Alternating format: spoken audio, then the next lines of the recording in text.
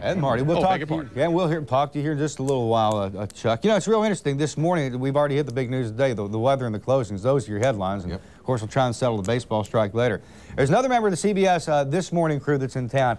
And, uh, I mean, uh, good old guy. Good old guy. Not born and raised here, but spent his formidable years here and got his career started here back on the old WKTK.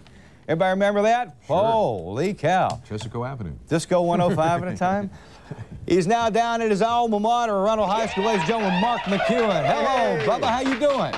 Hey, how you doing, boy? When I left here, remember Ted Agnew? Your kind of guy, Ted Agnew is. He was Spiro once he went off and went to be a vice president. Only a Marylander would know that, because I remember the commercials with Ted Agnew. Sure. I'm in Arundel High School. Marty and Don, we're having a great time. We're going to interview my old wrestling coach, Buddy Hepfer, who helped make me a man. Oh. That's a capital M on man. Man, how and long's, we're gonna, how how long's been since you've been back in there?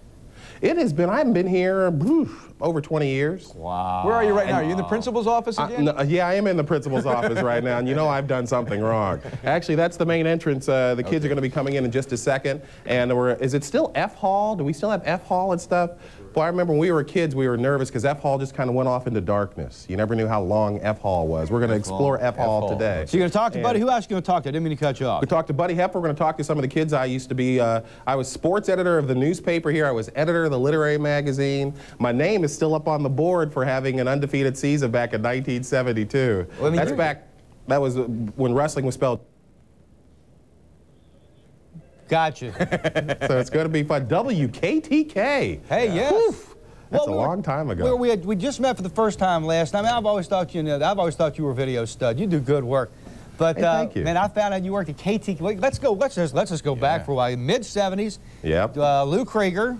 Lou Krieger was the program director. I would think it was Frank Adair, Chuck Ducote. Those are people who were on the Oh, air. Chuck. Woo, Boy, yeah, yeah. Chuck's a big broadcast executive now with the Hearst. Uh, he has to wear a tie, hubba hubba. Coming up today, we're going to have a piece with uh, Tony Coulter, who's going to be on it. Tony is my best bud. He, we all grew up here on Fort Meade, Maryland, and out in Crownsville. He's on DC 101. My brother's on 98 Rock at WIYY Kirk McEwen. He's going to be on that. That'll be about 10 till 8. And my mom will be crying through the whole show. hey, g- Well, you mentioned Fort Meade. That's why you came to Maryland, right? That's right. Pop was a colonel in the Air Force. We moved here. I remember we were moving here from Berlin, Germany. I had to look on the map. I didn't know where Maryland was. But we moved here in 1966. And if you're a sportsman, what happened in 1966 Yeah. to the mighty Baltimore Orioles? big time. Knocked the Dodgers right off, didn't we? Yeah. Big time. Do you have tickets?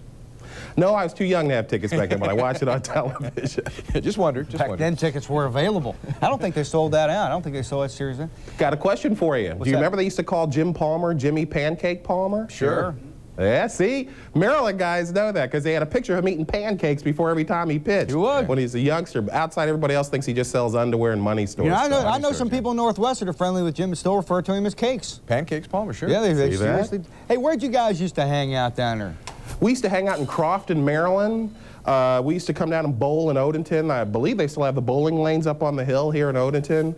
Uh, I remember um, Fort Meade was where we used to run a little bit. We used to come into Baltimore every now and again uh, just to kind of hang out. As I got older, we hung more and more in Baltimore. That you And, did. How was the block back then? Well, anyway. the block back then, well, I was the guy standing in the middle holding up the lit bic. You know? Man, you know, Blaze is still kicking. Blaze, Blaze? Starr. Uh, Blaze uh, lives out in Carroll County and, And uh, sells jewelry does at the Carrolltown Mall. Mall. Blaze Starr, a talented person. Let me tell you That's something. A, a real honest to goodness Baltimore legend. Hey, listen, uh, you having fun with this morning show? You do. You, you are doing really bang up work. Having a ball. You know, I'm always on the road. Uh, just cover the Golden Globes. The uh, Grammys are coming up. The Oscars are coming up. But I'll tell you, Marty and Don, the world. I've been to Norway for the Winter Olympics, Albertville. We've been to, to the south of France. We've been to London. We're going back to London in May. You know, it's a pinch me. You know, it's one of these dreams come true. And to come back to Arundel High School is such a hoot. Well, listen. When you walk around as a kid, you're thinking, you know, maybe someday. and maybe here we are. We're back. I tell you what, we're going to run. We'll catch you guys out live uh, uh, from 7 to 9. We'll look for your report about 10 till 8. It was great meeting you. We'll see you here later. You really are a right guy. And I know talent when I see it. Both got it. It's a Hey, pleasure to be on with Hey, the, you. the Mutual Backpacking Yeah. Society is going to, uh, hey, a true member of the IBF, the International Brotherhood of There Freeloaders, a member of the media, Mr. Mark McEwen. Talk to you later, man. Bye-bye. Take care, Bye-bye. Seen the capital of the world, but he's lucky to be back in Odenton. I'm telling you, from Albertville, Oden, Odenton. You gotta love it. You gotta love it. All right. Odenton Lanes. Wow. 647. We're going to take a break right here, and we're going to come back with uh, more stuff. And.